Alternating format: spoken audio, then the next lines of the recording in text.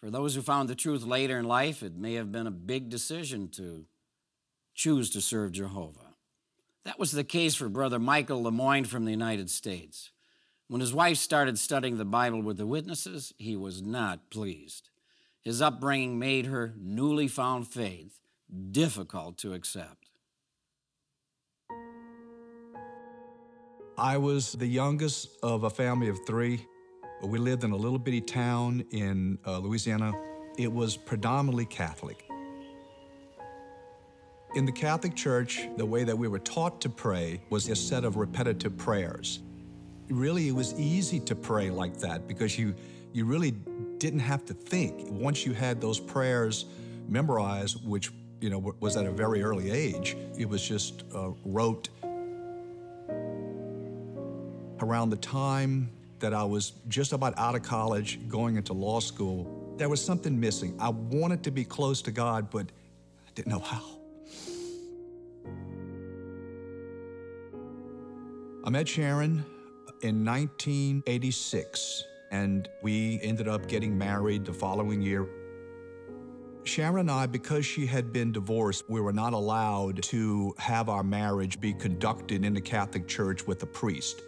And that, that didn't bother me at first, uh, but over time it did. I asked them what it would take for us to be able to bless our marriage. She would have to undergo a period of sessions of religious training. When he asked me that, I said, Yeah, I'll study with him. We never, ever opened up a Bible. It was a little disappointing. Around that same time, there was a zealous sister. I would study with her, and it was all Bible. As I continued learning about the Bible, the reasoning from the scriptures was so great. It was something that I knew I wasn't going to be able to brush off. So she came forward and said, I have something to tell you. Uh, I have been studying with the Jehovah's Witnesses for a period of time. Um, I am convinced that this is the true religion, and I, I do not want to participate anymore in the Catholic faith, the Catholic Church. What moved me to tell Mike about my Bible study was Genesis 6 6. It matters what we do, how we can affect Jehovah, that he could feel hurt in his heart. And it crushed me. It, it crushed me because of the love that he has for us. I consider it to be the dark years because there was so much animosity on my part. He was trying to do anything he could to get me to stop. I even talked about divorce, thinking that, you know, the shock and awe uh, treatment might bring her to her senses. He would actually pack up a suitcase and leave.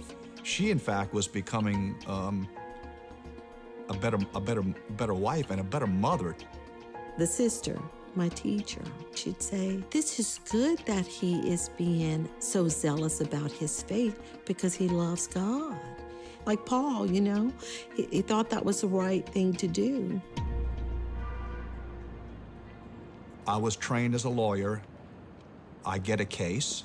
I usually know nothing about it. I do an investigation. I retain experts to help me understand what I don't understand. So naturally, I'm going to go to my church. I'm going to go I'm going to go to my religious leaders, my spiritual leaders and get them to help me with this. I made an appointment with a very, very high-ranking priest. I told him that my wife was studying with the Jehovah's Witnesses and I was seeking some help. And the first thing that he told me, and I'll never forget this, he looked straight at me and said it would take nothing short of a miracle for me to pull my wife away from the Jehovah's Witnesses because they knew the Bible so well. In my life at that point where I'm struggling, I'm trying to win over my family, that was a devastating day.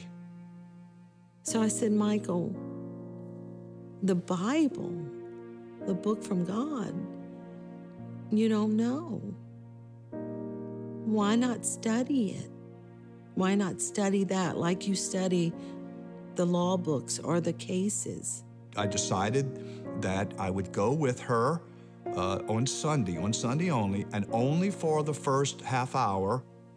I'd say it was at least a year that I went to meetings with the aim of learning and refuting it. But for now, you see how that relates to the question? You read that the earth will stay forever, that there is no Trinity, there is a name for God the Father, and there is no hellfire, there is no purgatory. These things were refreshing. I was totally convinced.